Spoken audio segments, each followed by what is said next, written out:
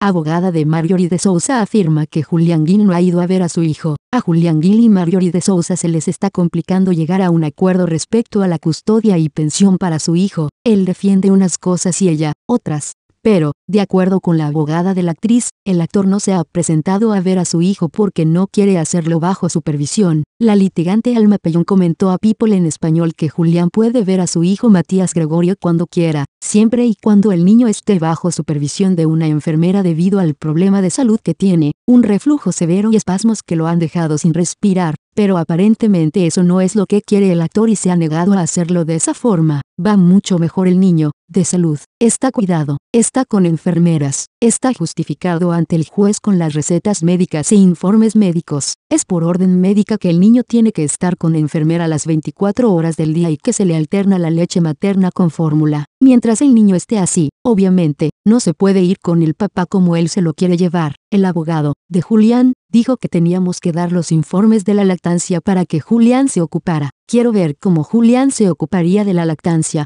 comentó Pellón. De acuerdo con la abogada, el actor no ha accedido a ver o estar con el niño con la presencia de una enfermera, por lo que un juez determinó que el padre se reuniera con el pequeño los viernes durante una hora en un centro de convivencias, hasta que se llegue a un acuerdo entre las partes. Así, la venezolana se presentó el pasado viernes junto a su bebé en el centro de convivencias, pero Julián jamás llegó. Marjorie lo que está peleando es que el niño sí tenga las visitas con su papá, pero que esté supervisado médicamente por una enfermera. Lo puede ver fuera, pero con la enfermera. Él no accedió. Pues bueno, ni modo, seguimos como estamos, hasta que él acceda a ver al niño en las condiciones en las que el niño esté seguro. En cuanto a la pensión, es la pensión que le fijó el juez, indicó Pellón, y es que un juez determinó que el actor le tenía que dar a su hijo el 20% de sus ingresos, pero Julián y sus abogados están luchando por bajar ese porcentaje al 4%. Lo que más pelea creo que es el dinero, pues al niño lo podría ver, si lo quisiera ver, lo ves en donde sea, recalcó la litigante, por Celeb.mx, 22 de agosto de 2017.